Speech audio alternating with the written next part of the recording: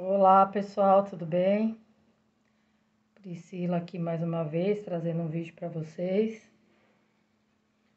Concluí meu tapete do desafio do grupo da Sirlene Artesanatos. Ó que lindo.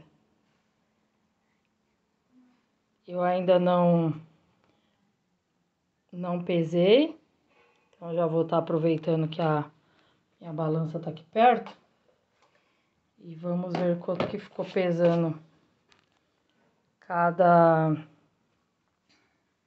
Tá de noite, tá, pessoal? Agora são 8 e 10 da noite do sábado, dia 9 de setembro, então faz um pouquinho de sombra, né? Mas vamos ver se dá pra tá gravando.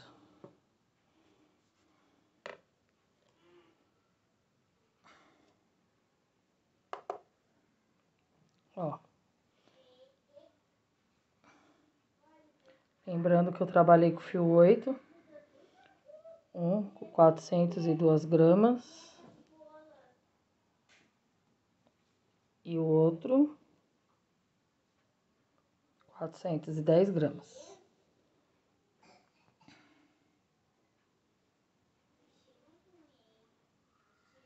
Os dois, 824 gramas. Não, pessoal, deu uma oscilada aqui, ó. Coloquei de novo, um tá dando, ó, 415. O primeiro que deu 402, agora deu 415, vamos ver esse. Ó, 410. Então, deu diferença de 5 gramas. É um do outro. Agora eu vou abrir. Ó, pessoal, essa parte eu já tinha mostrado, né, no vídeo anterior, dessa base que eu tinha feito. Aí eu coloquei, então esse aqui é um meio rosé, né, um, acho que é um rosé. Aí eu coloquei o bordô, tá? Tudo fio 8, esse é da Euroma e esse é o, o folha. Então é tudo bordô. Ó, o biquinho que ela ensinou mesmo. Só que que não foi o square dela, tá? Ah, sim, esse square, apesar de estar tá mesclado, não dá pra ver direito, mas essa florzinha que eu peguei do canal da Esmeralda Crochê. Eu vi outro dia uma produção dela. Então, tipo assim, uma cor só aparece bem a florzinha. Achei tão lindo. Aí eu cacei lá nos vídeos anteriores dela, achei a videoaula e fiz. Então, ela só numa cor fica bem mais bonita, né? Que aqui é mescladinho, mas tá bonito também. Aqui no vídeo não pega direito, né? Desculpe os barulhos de fundo, minha menina tá comigo. Ela fica conversando lá com, com os botões dela. Olha que linda. Agora vamos ver se eu vou conseguir medir. Ó, pessoal, eu coloquei minha trena aqui. Tá vendo, né? Ó, não picou até o outro. Setenta e oito centímetros. Agora vamos ver o grandão, né? Ah, mas eu gosto de tapete grande. Vamos ver aqui.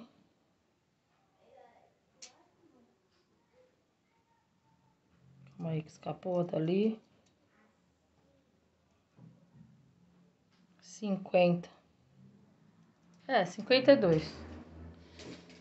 Então, ficou quatrocentos, né, e dez gramas. E oitenta, setenta e oito por cinquenta e dois. Não, setenta e oito por cinquenta mais ou menos, né? Depois ele vai dar uma sentada. Que bonito esse detalhe, ó. É... Eu não fiz nenhuma adaptação da videoaula dela. E também não fica...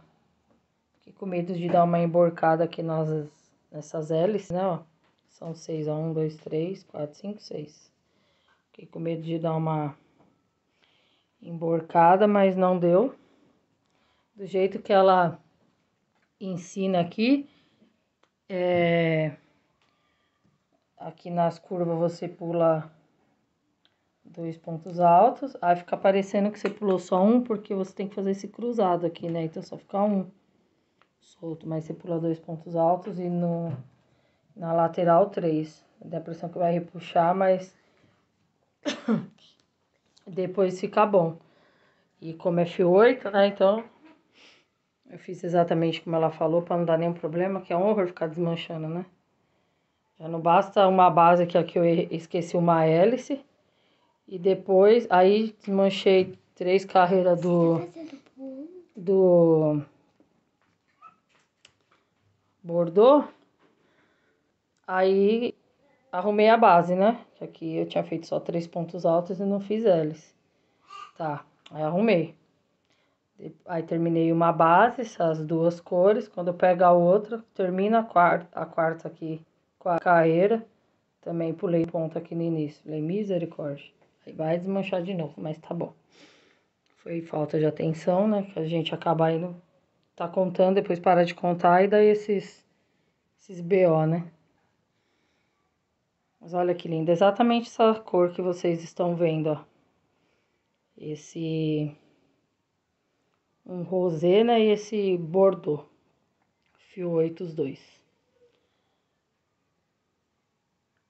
Aí, acho que aqui também ficaria legal fazer sem square, né? Fazer aquela base assim, oval.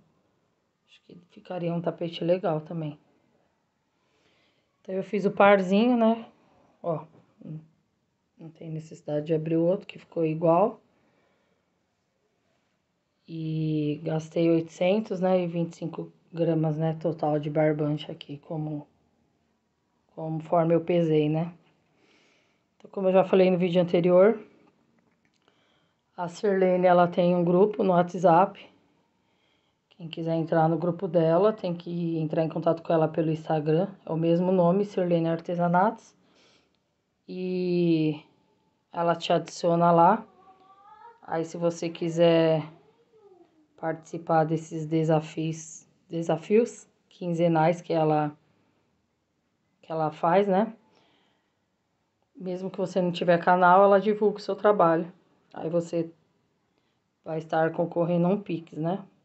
Ela faz um Pix de 20 reais para as participantes. É, por sorteio, né? Claro. A sortuda ganha 20 reais. Mas como eu disse, o que vale também a intenção, né? Porque a gente acaba fazendo peças diferentes.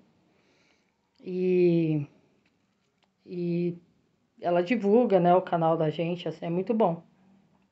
Então vale a pena participar mesmo. Sorteio já fala, né? Coisa de sorte, então a gente pode tem que pensar positivo, mas pode ficar contando, né? Mas vale a pena realmente participar. É muito legal. Então sai várias combinações diferentes. Fica muito bom os trabalhos das meninas que participam. Olha que bonito. Tirando a trena, né, ali do lado. Eu achei que ficou lindo e grandão, né? Então, pessoal, é isso. O vídeo de hoje foi esse. Se você gostou, compartilhe.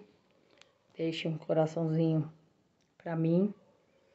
É, não esquece do meu joinha, que isso também ajuda a tá indo meu vídeo para mais pessoas. Assiste até o final também, porque ajuda nas horas, né? Nós que fazemos vídeo precisamos das horas, tá bom? E inscritos também, né? Se você não é inscrito, não paga nada para se inscrever. Tá bom, pessoal?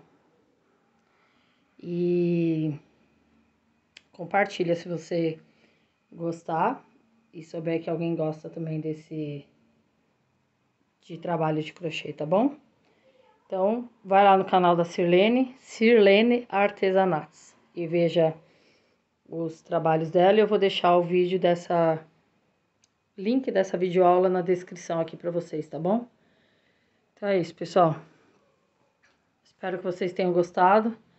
Fiquem todos com Deus, tenham um excelente domingo e uma excelente semana. Tchau, pessoal.